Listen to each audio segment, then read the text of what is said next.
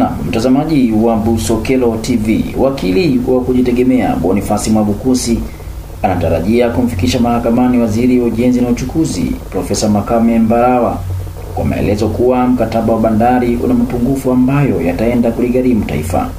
Taarifa iliyotolewa kwa waandishi wa habari, Mwabukusi amesema kuwa kutokana na mapungufu hayo ya kisheria ataenda mahakama kuu ya Tanzania kufungua shauri la hati ya dharura na kuomba mahakama imwamuru mara moja waziri mwenye dhamana kurejesha mkataba huo bungeni ukiwa na MOU, IGA na mchanganuo wa mradi ili bunge na wananchi wapate haki yao ya kikatiba ya kutoa maoni.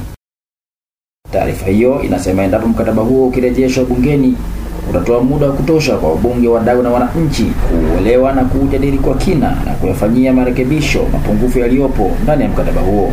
Anaongeza kuwa kuwepo utaratibu maalum ambapo wadau wote ambao kwa msingi wa maisha yao, maeneo yao, jamii yao na shughuli zao kiuchumi zimefungamana na maziwa zinaweza kuathiri maisha, mila, itikadi za watu hawa ambao ni wenyeji wa asili ya maeneo ambayo mradi unajumuisha katika IGA katika ukanda wa bahari na maziwa makuu.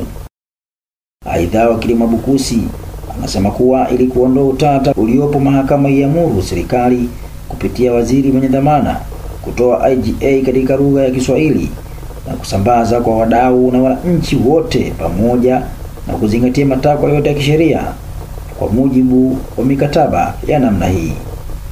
Mabukusi anaelezea vipengele ambavyo vinatakiwa kufanyiwa marekebisho ikiwa ni pamoja na kuboresha makubaliano ya IGA na kuweka bayana ukomo na mawanda ya mradi na utekelezwaji wa shughuli zote zilizokubaliwa katika mradi husika, kuweka kifungu cha kuongeza uvunjaji wa mkataba, kuondoa vifungu vinavyoashiria umilele, kuondoa vifungu vyote ambavyo moja kwa moja au kwa matokeo yake vinaondoa haki ya nchi ya umiliki wa rasilimali, haki ya nchi kufanya ushindani na fursa ya nchi kuruhusu wawekezaji wengine katika eneo la uwekezaji wa, wa bandari, kuhakikisha uzingatiwaji wa sheria zingine za nchi na kuhakikisha kwamba mkataba huu hauwi juu ya katiba ya nchi, sheria za ardhi na sheria zinazolinda rasilimali asili.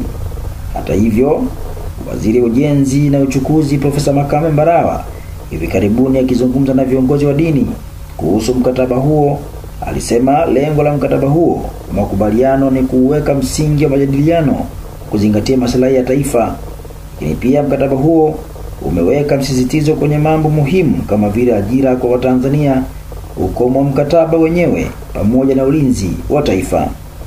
Profesa Mbalawa amesema wakati wa utekelezaji mkataba huo utazingatia masuala mbalimbali kama vile kuweka bayana ukomo wa mkataba, muda wa marejeo ya utekelezaji mikataba itasainiwa kwa usimamizi wa mwanasheria mkuu wa serikali na mifumo ya kampuni ya DP World itasomana na mifumo ya serikali. Mtazamaji wa Busokelo TV, endelea kufuatilia taarifa zetu kupitia mitandao ya kijamii kwa jina la Busokelo TV.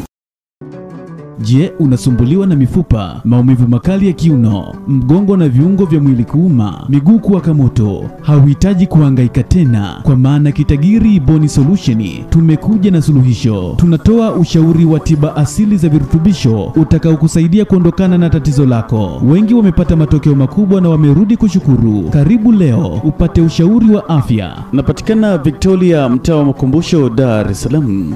Instagram tunapatikana kwa jina la Kitagiri Bone Solution au wasiliana nasi kwa namba 0685555184. Wote mnakaribishwa.